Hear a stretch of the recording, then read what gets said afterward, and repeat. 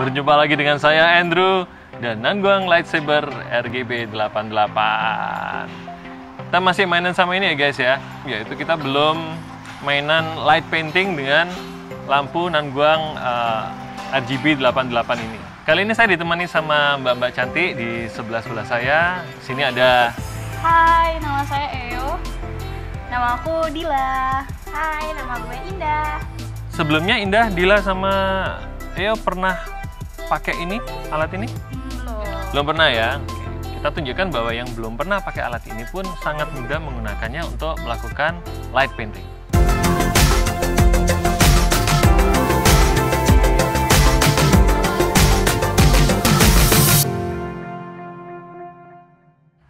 Kita sekarang berada di Pasar Belimbing Baru ya. Datang ke lokasi, melihat lagi, ternyata tempatnya kurang gelap guys. Jadi kita butuh tempat yang lebih gelap lagi untuk bisa melakukan light painting dengan bagus. Dan saya sudah menemukan tempatnya.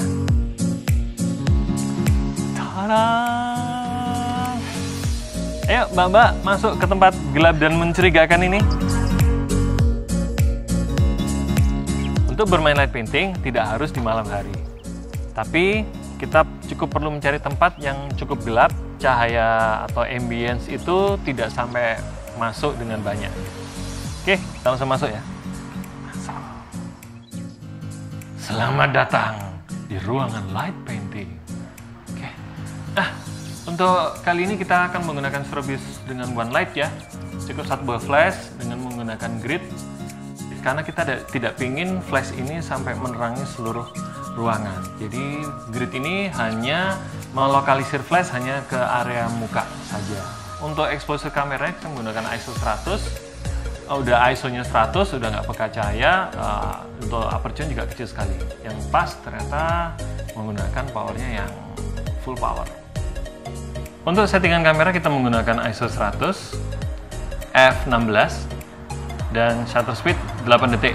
Untuk Nanguang tadi udah kita set gabungan ISO dan aperture yang dia itu pas, terekam, tidak over dan tidak under.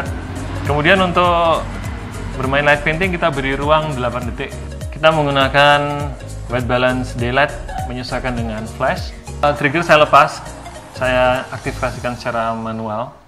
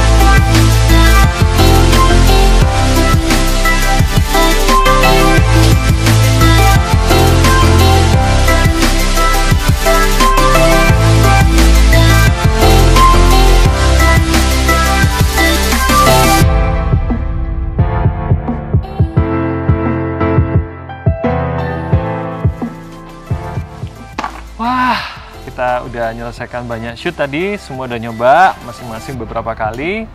Gantian jadi model, gantian jadi yang uh, light painter. Jadi gimana kesannya tadi pakai RGB 88 ini? Seru. Seru banget ya. Hmm, Terus gimana? Susah atau mudah atau gimana? Berat sih tadi awalnya, cuman Berat ya? Oke. Dan nggak terbiasa buat bikin-bikin kayak gitu. Oke, butuh latihan ya berarti ya. Iya. Tapi mudah ya sebenarnya ya. Mudah, mudah. ya. Light painting tuh bisa. Saya yakin teman-teman di rumah kalau mau mencoba sendiri pasti bisa deh.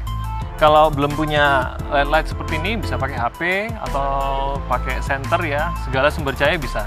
Cuman asiknya pakai ini itu tadi bisa lampunya bisa warna-warni, bisa panjang, bisa dibikin pulsing atau continuous gitu ya.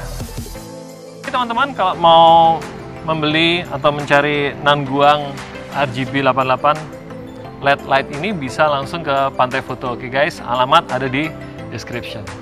Gitu dulu, silakan ditinggalkan komen menurut kalian hasil foto yang paling bagus, hasil light painting paling bagus apakah punya EO, punya Dila, atau punya Indah. Oke, makasih guys. See you. Bye.